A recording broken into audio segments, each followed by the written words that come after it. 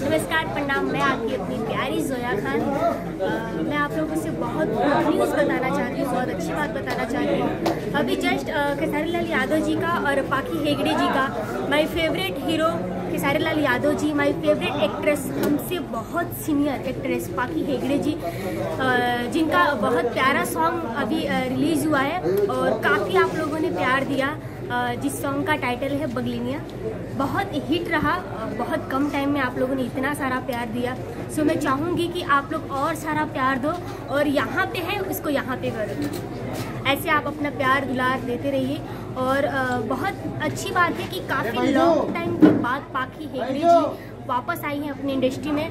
तो I am so happy उनका welcome है। हमेशा था।